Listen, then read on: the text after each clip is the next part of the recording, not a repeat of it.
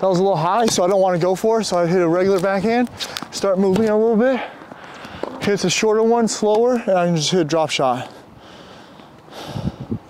In this video, I'm gonna teach you how I hit my backhand drop shots. I've used this many times in ATP matches and I feel very confident in this shot.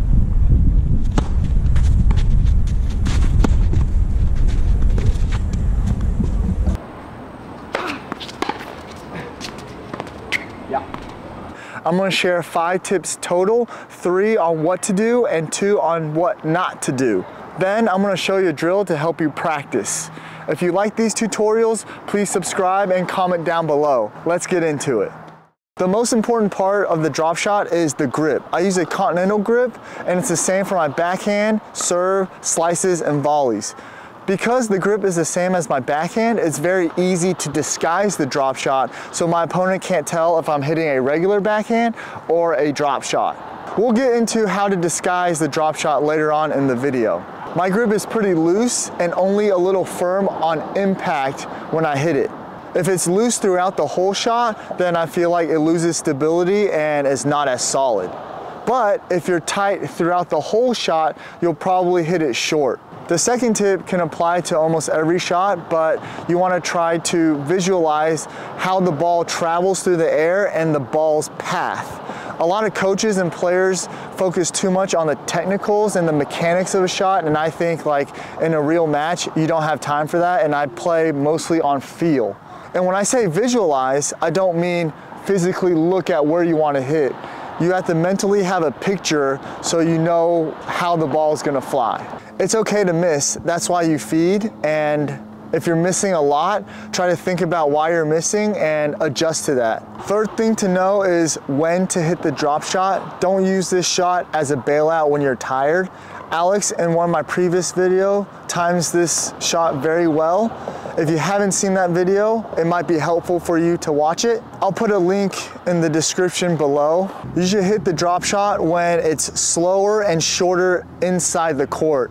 If you're five feet behind the baseline or if your opponent smacks the ball at you, that's not the right time to hit the drop shot. You're most likely gonna miss.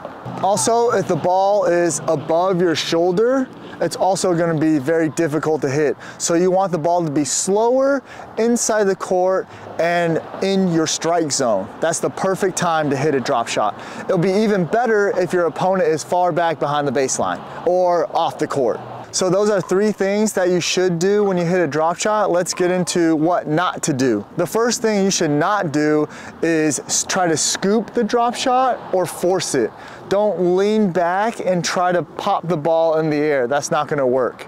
You need to use your body and lean into the shot to use your body weight to help stabilize the shot. So as the ball's coming to you, have your head and upper body still and visualize where you want the ball to go. Let the racket do the work instead of trying to change the racket face all the time. The second thing on what not to do is decelerate the racket. People think drop shot's a touch shot and that means that you have to go slower with the racket. That's not the case. If you do that, then the ball is also most likely gonna be in the net or short. Now that you know the basics, let's get into the drill. To do this drill, you wanna start short and simple. So I have my slice grip or my backhand grip and I'm at the service line to help me get a feel for the ball. All I wanna do is try to feel the racket, feel the ball, feel if it's short or long, good or bad. You can start out all cross court if you want to get the swing right. And my grip is kind of loose in the beginning. And then on impact, I get a little tighter. It's okay to miss. It's just practice and getting a feel for the ball. And you notice how I'm not moving my upper body or head at all. I stay with the ball.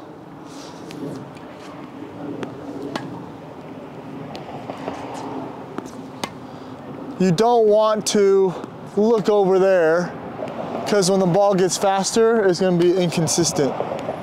So after this drill, if you think you've, you know, feeling comfortable, maybe you can scoot back and start just feeling the shot again and see how you do. That was a little long. These feet, that was pretty good.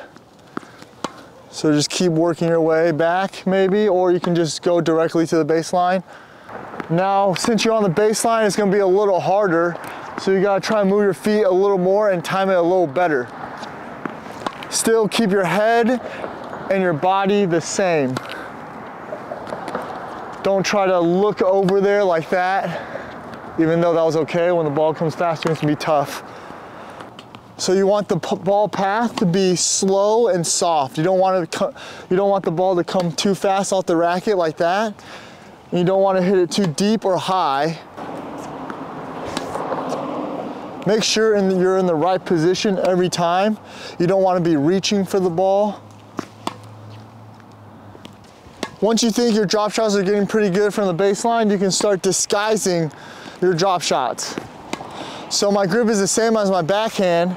So all you have to do is let go of your left hand. So I'll show you right now.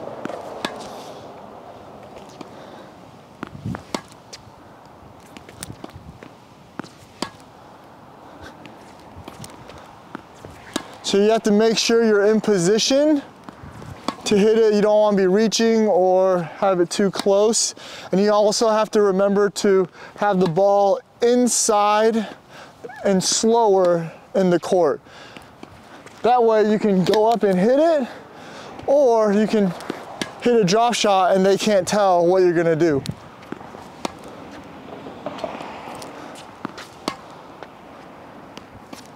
After you got the feeding down, you can try to implement it in a practice match and then in a real match. So right now I'm gonna play some practice points and see if I can show you when I hit the drop shot.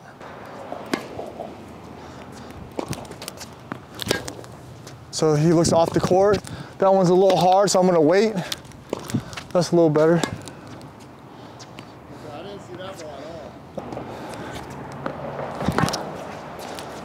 Just gotta make sure he's behind the baseline and moving. That one's too deep, so I don't wanna hit a drop shot on that one. A little shorter. Wasn't in position there, so maybe that's why I missed. The ball was a little low. So let's try one more. So you wanna get him moving. That was wide, so I didn't wanna go for that one. Oh, that was deep. Just get it back a little shorter. So the main thing when you're trying to hit a drop shot in a point is recognizing what ball to hit it on.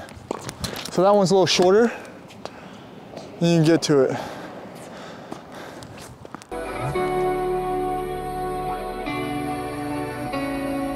Draw my thoughts